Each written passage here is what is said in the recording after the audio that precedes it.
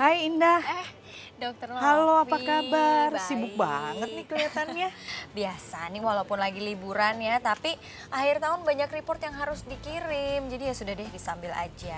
Iya, sibuk sih boleh sibuk, tapi kamu juga harus jaga kesehatan loh. Oh tenang aja dokter, di sini kan era globalisasi ini semua dipermudah ya dengan adanya gadget, koneksi internet, tinggal duduk manis, cemilan, semuanya kerjaan bisa dihandle dari satu tempat, nggak mesti ke mana-mana. Eh, jangan salah. Justru dengan jarang bergerak, Mhm. kurang aktif, justru bisa menimbulkan berbagai masalah kesehatan loh. Kok malah salah kesehatan? Gimana dok maksudnya? Jadi dengan jarang bergerak itu bisa memicu berbagai penyakit. Mhm. Misalnya diabetes, osteoporosis, darah tinggi, kolesterol tinggi dalam darah, bahkan bisa serangan jantung loh. Jadi hanya dengan jarang bergerak bisa jadi serangan jantung. Karena dengan jarang bergerak itu memicu terjadinya proses oksidasi yang berlebihan terhadap kolesterol di dalam darah yang nantinya akan menimbulkan stres oksidatif.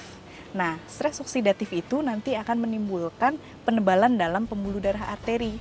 Kalau terjadi penebalan nanti bisa terjadi penyempitan. Mhm. Nah, itulah nanti yang bisa memicu serangan jantung. Seperti apa gejalanya? Gejala yang paling klasik biasanya adalah nyeri dada di sebelah kiri Oh gitu. dan bisa menjalar sampai ke lengan kiri. Sampai ke lengan kiri. Rasanya kayak kesetrum gitu. Oh. Nah, tapi kadang-kadang juga Mhm. cuma nyeri di dada bagian tengah aja atau orang bilang nyeri ulu hati. nyeri ulu hati. Wah, Iya. bisa beda tipis sama mah ya itu ya, Dok ya. Itu dia, itu sering salah dengan mah justru. Hmm, berarti kita harus mencegahnya ini bagaimana caranya, Dok? Untuk pencegahannya sebenarnya sih mudah aja. Mm-mm. Kurangi terlalu banyak duduk, jadi Mhm. mesti banyak beraktivitas. Oke. Meskipun ada gadget, tapi kalau misal di kantor mau eh, memanggil teman atau Mhm. mau menyampaikan pesan, lebih baik jalan aja langsung temui. Oh, nggak usah lewat itu. gadget lagi ya, Dok ya? Iya, selain Oke, itu juga oke. kamu bisa olahraga Mhm. yang teratur. Lalu kemudian juga dengan konsumsi diet yang baik. Oh, konsumsi diet yang baik. Diet yang baik itu seperti apa nih, Dok maksudnya? Paling tidak kamu harus mengurangi makanan-makanan yang tinggi gula, Oke. tinggi garam, Ya. tinggi kolesterol. Nah, itu harus dikurangi. Selain itu, baik sekali untuk mengkonsumsi makanan yang mengandung antioksidan yang tinggi.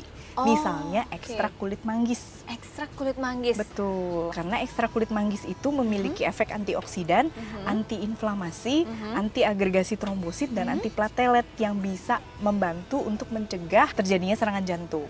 Oh gitu, ya, ya sekarang aku ngerti. Jadi jangan terlalu banyak duduk juga ya dok ya, nggak baik ya Iya. dok. ya. Harus stretching stretching juga nih. Iya, kalau gitu gimana kalau kita jalan-jalan sebentar mungkin nanti abis ini atau mau ngeteh-ngeteh dulu? Boleh? Oke.